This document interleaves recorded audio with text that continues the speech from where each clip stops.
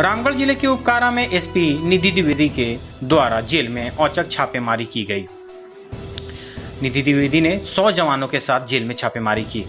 वहाँ सामान्य कैदी के वार्ड तथा महिला कैदी वार्ड को अच्छी तरह से खंगाला गया, परंतु वहाँ कुछ भी नहीं मिला। बता दें कि यह छापेमारी पूरे राज्य में एक साथ चलाई जा रही है, क्योंकि बढ़ती घटनाओं को देखकर यह कार्रवाई की गई है तथा यह डीजीपी के निर्देश के द्वारा किया जा रहा है।